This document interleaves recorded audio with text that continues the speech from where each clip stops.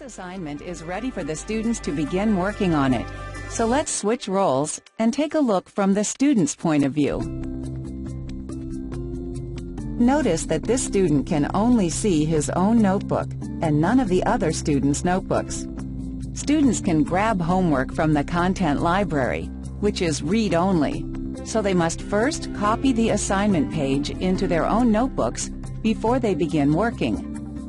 Click or tap the Page tab to simulate right-clicking it. Select Move or Copy.